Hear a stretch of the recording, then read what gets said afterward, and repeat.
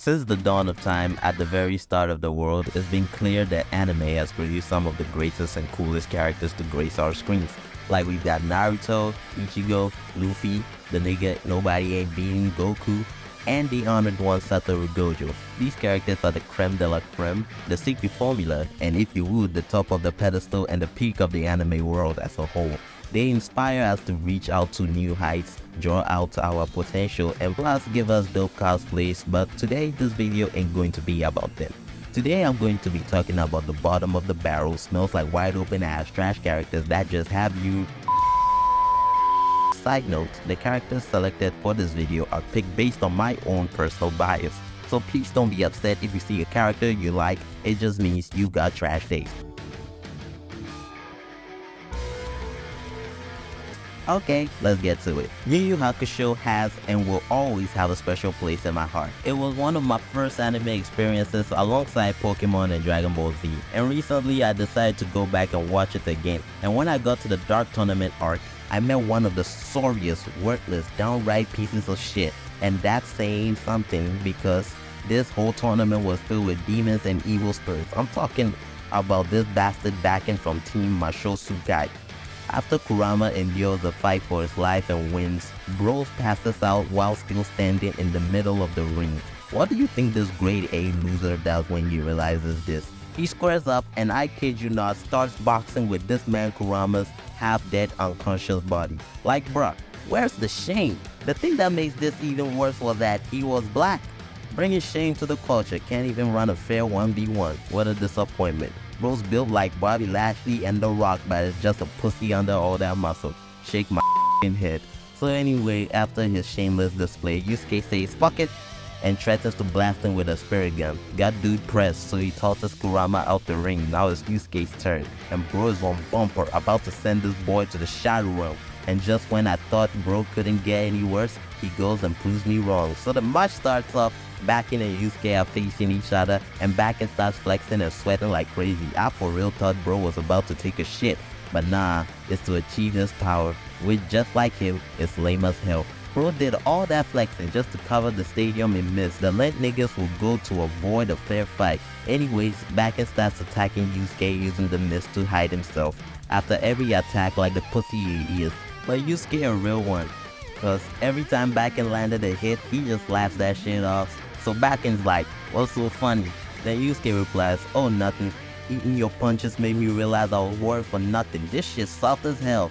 So Bakken pissed off, trying his best to look tough, comes in to attack Yusuke, but he fires a spirit gun at the wall, causing an explosion that clears all the mist, and then Yusuke comes from behind and lands a punch on Bakken, breaking his ribs. Now Bakken's on the ground in pain, begging Yusuke not to beat his ass, but Yusuke's not going for it. So he bows his head and just starts fake crying. Oh my god, this man has no dignity. So Yusuke goes to stop him and he picks up a fucking rock and hits Yusuke on the head with it. Oh nah, this nigga's sorry. Ban him from the cookout. I refuse this man being associated with the culture.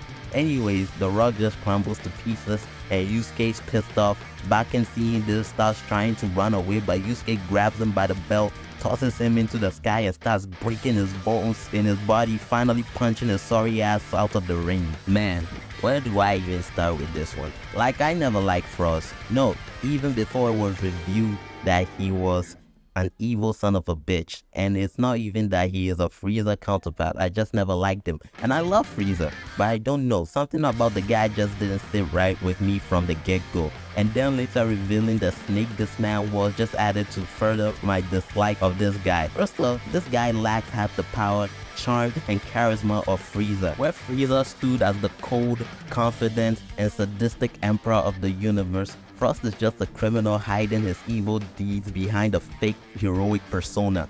I mean, bro is just lame as hell, and that just gets reaffirmed in the Universe 6 vs Universe 7 tournament. So first up, Frost fights against Goku, and that goes about as well as you think. Bro got mollywhopped, but he wins the match cause he was cheating. Next up, he goes up against the Green Messiah himself, Piccolo. And I don't care what anyone else says, Piccolo put in work. So the fight starts and immediately Piccolo starts charging up the special beam cannon. Frost starts shooting up death beams, missing them all, then counters Piccolo blast with his own then fires a two-finger barrage of death beams hitting Piccolo in the leg, bringing him to the floor where he proceeds to make clones of himself. Frost then proceeds to shoot at them, finally destroying them all with an energy wave that, that starts throwing hands at Piccolo, who blocks all of it with one hand. Frost then kicks him on his injured leg, then follows with a gut punch into a flying kick to the chest. Then Piccolo wraps his arm around him and proceeds to continue charging the special beam cannon. Frost being the bitch he is cheats again and lays out Piccolo. Now it's time for him to go up against the Prince of All Saiyans Vegeta. Then Jaco gets up and basically lets everyone know that Frost has been cheating this whole time. This loser brought in a weapon that stuns his opponents. Bro gets disqualified and Piccolo wins, but Vegeta is like, nah, don't disqualify him. Then Piccolo tag out. It's my time. So Vegeta gets in the ring, about to put this man to sleep. Frost even goes so far as to get them to allow the use of poisons and even killing. But alas, it was all in vain. So the fight starts and Frost starts running towards Vegeta, yammering his nonsense before he could even get the chance. Vegeta rushes in and sends him flying with an uppercut. And that was the end of this sorry loser. I just hate this man, bruh. Overlord is probably my number one isekai anime, followed by Tanya the Evil. Oh, hell no! And in the world of Overlord, where monsters roam the lands and adventurers brave the frontiers, in a kingdom where power is split between the royal family and the nobles lives a boy who serves under the princess clad in white armor and the courage to face an army.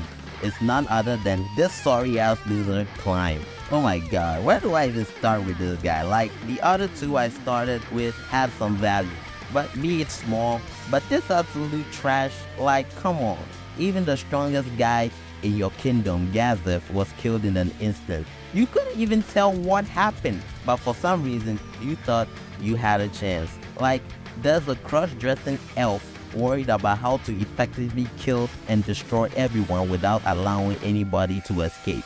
You're only alive because of the princess. And speaking of the princess, she has been plotting the literal downfall of the kingdom and murdering the royal family and manipulating this goofy goober into staying by her side no matter what. This man was just born to fail. Even at the ending when Ainz decides to fight him playing along to the schemes of the princess mind you, that goes about as well as Meat Meal beating the Gations. Hell, I even took time out of whooping his ass to let him know that this ain't a fantasy, you ain't the main character, and you are about to die. Ainz picks up and tosses him Gazef's sword, telling him to pick it up. Then whips out his own sword so they clash and he parries all of Klein's attacks then Clank comes from about, screaming his lungs out, entering a flashback thinking he's Naruto. But Ainz just grabs the sword and lets him know once again, he ain't the main character and cuts him in the shoulder. He's like, alright, time to end this, and literally crashes his heart with magic. Like bruh, if that ain't just the weakest shit, to make matters even worse, he's brought back to life just to find out that the princess is now a demon working for Ainz, and she convinces him to join her in Seven Ice. Like bruh, of all the losers, he takes the trophy for the biggest loser. Anyway, that's been the video. Please leave a like, drop a comment, and subscribe for more content. Bye!